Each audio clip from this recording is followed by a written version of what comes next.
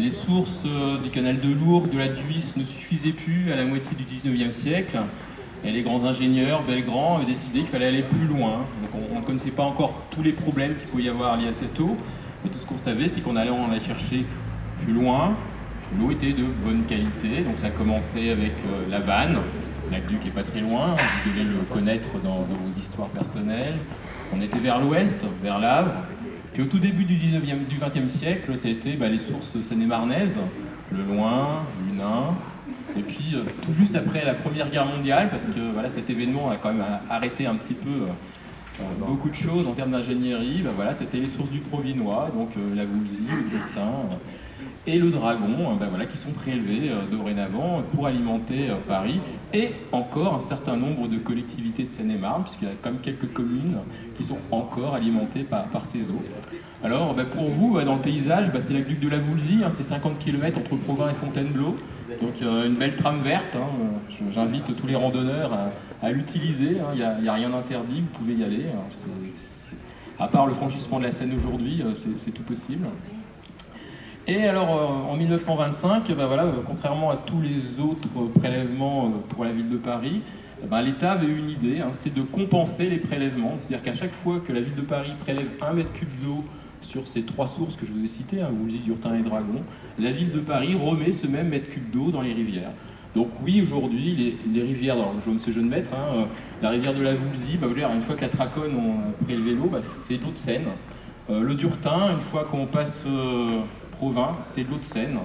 Le Dragon, une fois qu'on a passé Longueville, c'est l'eau de Seine. Mais d'un côté, voilà, depuis 1925, on compense ces prélèvements. En fait, eau part sur Paris pour l'alimentation en eau potable, Aujourd'hui, voilà, ces eaux du Provinois ne pèsent plus que 5% de l'alimentation en eau parce que depuis 1925, voilà, la, recherche euh, médicale notamment a fait énormément de progrès. On, a vu qu'il y avait beaucoup de choses dans l'eau. Et donc maintenant, la, grande majorité de nos prélèvements, bah, c'est des eaux de, surface, de l'eau de Seine, de l'eau de Marne, des usines avec beaucoup de technologies. Si vous veniez visiter nos, sources, enfin souvent les sources de l'échelle sur la Voulzy sont ouvertes aux journées du patrimoine, vous verrez, tout est resté comme en 1925 on fait de la cueillette. L'eau, on n'a aucune pompe, c'est euh, artésien, et ça rentre dans notre aqueduc. Alors l'aqueduc, euh, pour, ceux qui, ont l'habitude de travaux d'adduction en eau potable, les diamètres ne sont pas forcément les mêmes que ceux que vous pouvez voir dans, vos communes. On a des tuyaux de diamètre 1000, 1 hein, mètre, et, tout ça, ça part vers Paris, euh, et ça marche bien. Alors la ville de Paris, bah voilà, avec tous les moyens qu'elle a depuis des années, essaie de mettre en œuvre un certain nombre de, choses à côté parce qu'elle vit dans un territoire et elle est tributaire de ce territoire. Parce que l'eau, pour éviter que ça coûte, ça, vient juste d'être dit par euh, euh, l'agence de l'eau, il faut travailler bah, avec ces acteurs pour essayer de diminuer euh, bah, la, pression et donc les pollutions.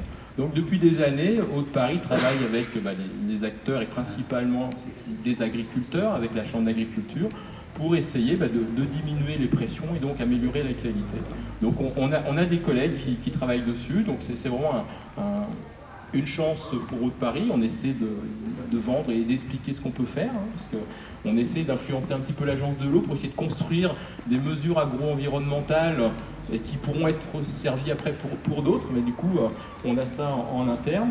Et je vous disais que notre aqueduc, c'est une trame verte. Ben, du coup, vous avez peut-être vu aussi qu'on a mis des petits panneaux euh, vantant notre euh, politique en matière de préservation de la biodiversité. Je suis arrivé il y a six mois à Haute-Paris, on se cachait. Et euh, du coup, je me suis dit que je ne voyais pas pourquoi on se cachait. Donc du coup, on a sorti des panneaux pour dire qu'on essayait de travailler. Et donc du coup, depuis quelques temps, on essaie comme de mettre en œuvre une gestion différenciée, un petit peu comme peut le faire le conseil départemental sur les voiries. Hein.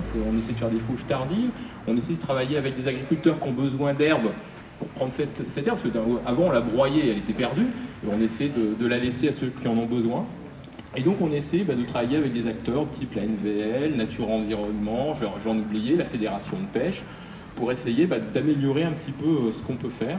On a un projet là le long du canal des Ormes, parce que c'est aussi une de nos particularités dans votre territoire. On a un aqueduc, mais aussi un, canal. Et ce canal, bah, il déborde et euh, il pourrait réalimenter des zones humides. Donc c'est des choses que vous venez juste d'entendre. Et donc on se dit qu'on est là par hasard, mais euh, en essayant de modifier un petit peu nos pratiques, on essaye de faire un petit peu de bien à côté de nous. Merci beaucoup. Merci. Alors, on va parler...